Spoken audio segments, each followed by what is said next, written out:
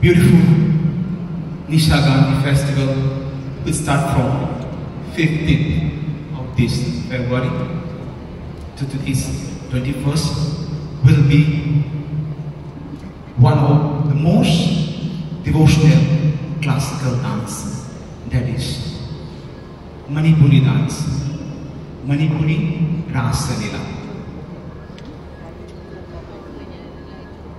In Manipur, there have five different type of Leela. Like Maharaj, Vashantaraj, Kunjaraj, Divyaraj and Nityaraj. Among these five Rasa Leela, Vashanta Rasa that we are going to present here is one of the most colorful Rasa of Manipur. All these Rasa Leela have a season that played in the Govindaji temple. The first three Maharaj, Vashantaras and Kunjaras is played in the Sri Sri Govindaji temple of Manipur. On Kartik Purnima, if you visit Manipur then you can see the Rasa Leela of Maharaj. Chaitra Purnima, Vashantaras, Aswin Purnima, Kunjaras. Two Rasa Leela, Nityaras and Divaras can be played in any days in the local temple of Manipur. And Divaras is played in the daytime and the rest four Rasa Leela is played in the midnight. That's the traditions. So we are bringing that image, that tradition to here. So now we are we will create this stage as a Vrindavan. So Rasa Leela is used to play in the Vrindavana Kunja. So hope everyone aware about the four yoga according to Hindu philosophy, Hindu myth. They have four eon, four yoga. That is Satya, Treta, Dwapur, and Kali Yuga.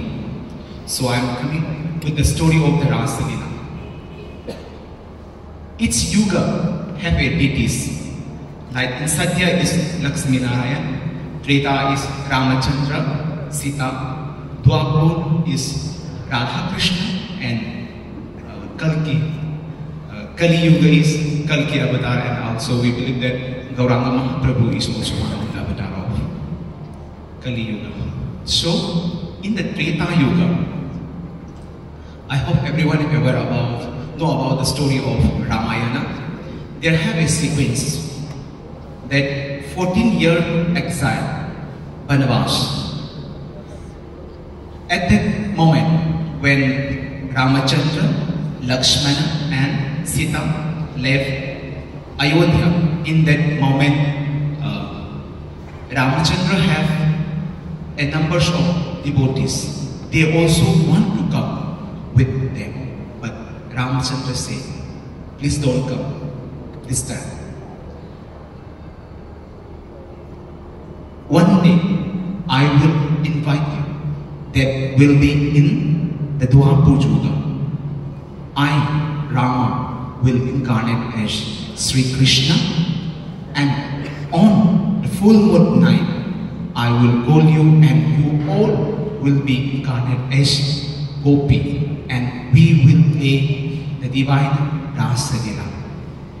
Here comes Dwapur Yuga.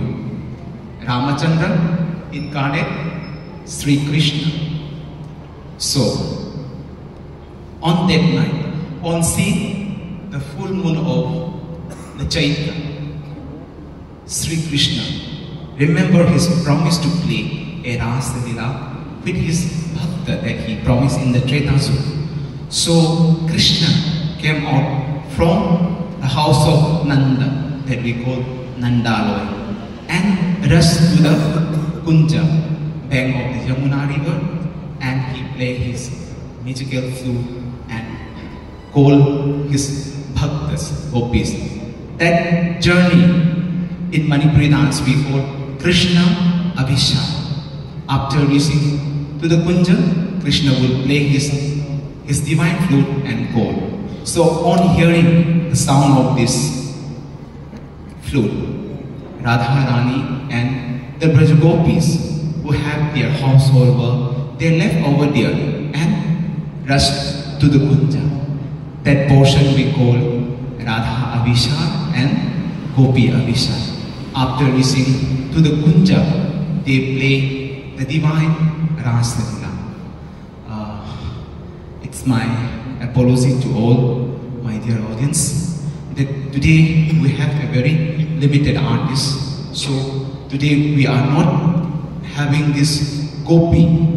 So all the audience of today, you all were uh, as a gopi and take as a part of this Rasa Here we will play only the portion of Radha and the Krishna actually in, in Manipur, in traditional is Rasalila. At the end, when Radha and Krishna are in the Jugala Rupa, Krishna will be in this gestures and Radha will be this.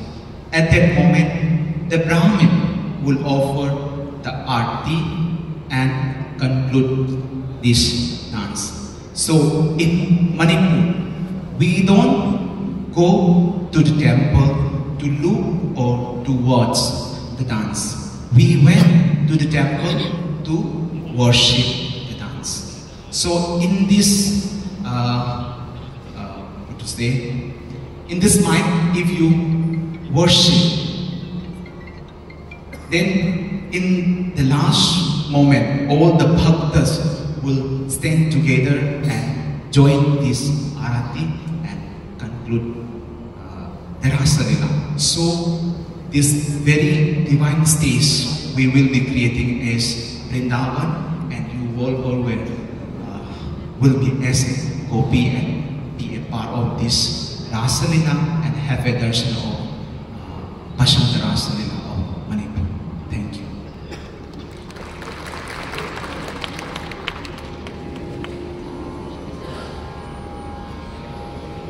eat.